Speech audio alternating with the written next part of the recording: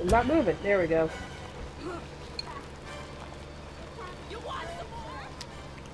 Oh, they stunned him.